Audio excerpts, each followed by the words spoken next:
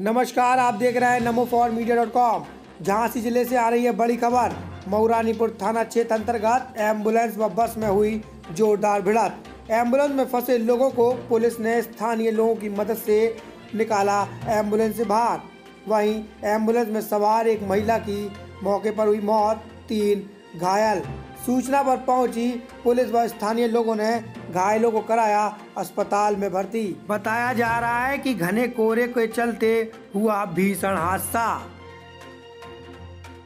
Sir अभी एक accident आया है। इसमें कितने लोग सवार थे? क्या स्थिति है?